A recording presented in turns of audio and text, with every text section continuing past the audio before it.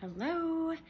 This is a little impromptu video prompted by my walk with Milo this morning. I've been taking him down to uh, Whitehall Park, which is a beautiful piece of property down at the foot of our downtown bridge.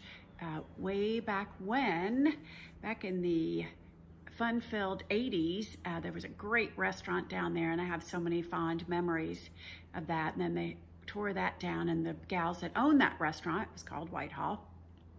Well, after they owned it, they built this beautiful building. I think it, I want to say it cost a million dollars to be, it's a bank now. But anyway, friends of ours then took over Whitehall and we just have so many fond, fond, wonderful memories of that.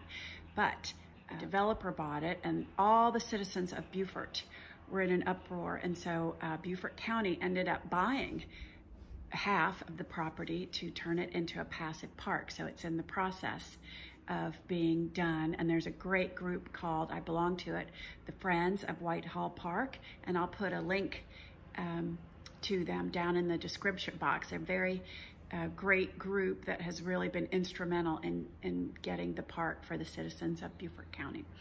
But anyway, I have a video coming up of some more restaurants that I've been that are open now in Beaufort um, for lunch.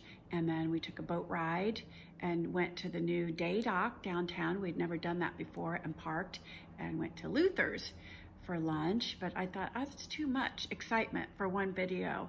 So I'm going to break it up. So today is a beautiful, serene, uh, trip down to Whitehall Park with me and Milo.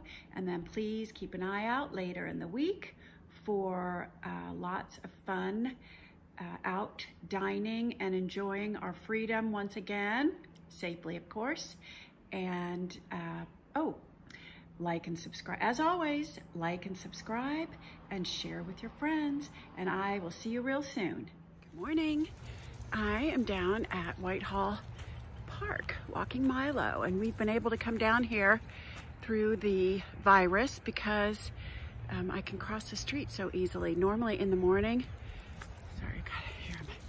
Normally in the morning, the traffic is so heavy that we can't cross the road, but we've been able to cross the road. And now he's used to coming down here and now that things are opening up again, I'm not sure what we're gonna do because he's not gonna be happy. But anyway, it's really beautiful down here. I wanted to show you. And so then I wanted to show you this awesome tree where everyone comes down and has their Christmas cards made and uh, family photos and all that. I took a better picture of it, but it's awesome.